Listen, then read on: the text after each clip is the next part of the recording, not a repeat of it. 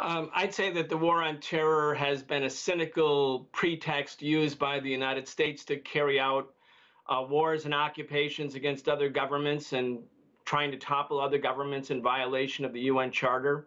It's become a banner rather than an actual war. The UN Charter says the use of force or violence against another member nation of the UN can only be justified uh, on the circumstance of imminent self defense. And here you have the United States invaded Iraq.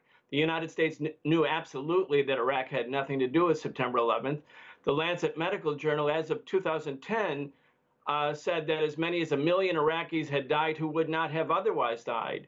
That's not counting the wars in Yemen, the, the drone attacks against the, the people in Somalia, the war in Libya, uh, again, all under the pretext of the war on terror, where NATO bombed and destroyed uh, a sovereign government. The U.S. wasn't trying to build democracy in Libya. They were trying to destroy a government and take over a country where the, the country in Africa that had the largest oil reserves. I mean, this has been an unmitigated disaster for people all around the world. The U.S. Uh, assumed that it had the right to torture and set up black torture sites, uh, hidden sites all around the world. Guantanamo today is still open.